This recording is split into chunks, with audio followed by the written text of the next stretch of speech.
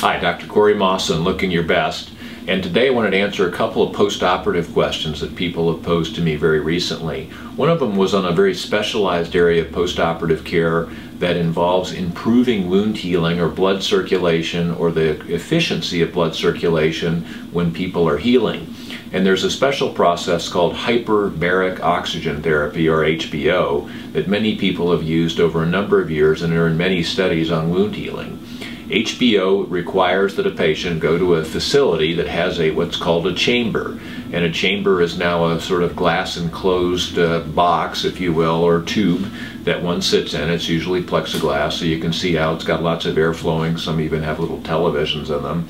And that chamber is enclosed and sealed so that higher atmospheric pressure can be generated, thus increasing the concentration of oxygen molecules in the chamber that when you're breathing them.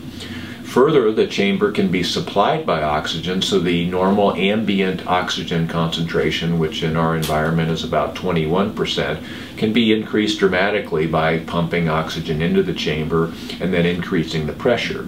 What this does for people is allows greater amounts of oxygen to be circulating in the bloodstream, which are critical to wound healing. And that's really where you see people with slower wound healing, commonly seen in diabetics or people who are smokers uh, people that have poor, uh, poor vessels or heart disease are all people who are likely to have or are at higher risk to have some slower circulation or wound healing problems.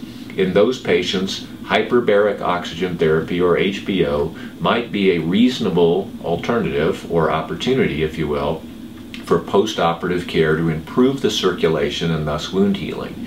And we recommend this in a small percentage of patients. Now the hyperbaric chambers that I work with, there's one here in San Francisco and one in Marin County, one in the South Bay, all of which um, have the same type of facility, a very nice facility where you check in. I'll uh, pre-arrange that with the technicians there. And in patients, in the handful of patients that we see that have slower circulation, I'm very happy and encourage them to get involved in hyperbaric oxygen to get the best possible result. The treatment itself uh, is very comfortable. You sit in a chamber. It's a lot like uh, descending on an airplane. You feel a little bit of increased pressure on your ears. And uh, you sit in there with the ventilation for usually an hour to an hour and a half. Some people sleep during the treatment. I think people can read or, like I said, watch television, listen to music, whatever you like to do. It's totally uh, painless in, in terms of the comfort level. It's uh, fine. And once you get out of there, people feel refreshed. Now, some people are using HBO as a routine part of an anti-aging program. There have been studies showing increased mentation and brainwave changes and other uh, sorts of things.